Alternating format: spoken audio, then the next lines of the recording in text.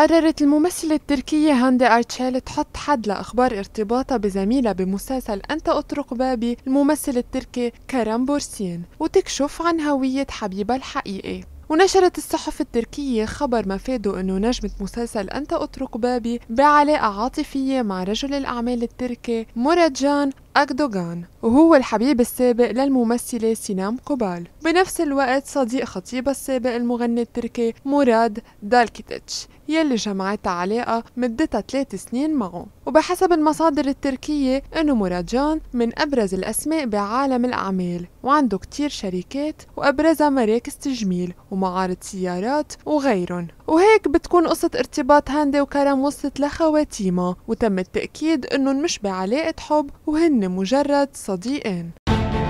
لمعرفة كافة الأخبار الفنية زوروا موقعنا الفن dot com واشتركوا بقناتنا على يوتيوب ليوصلكن كل جديد.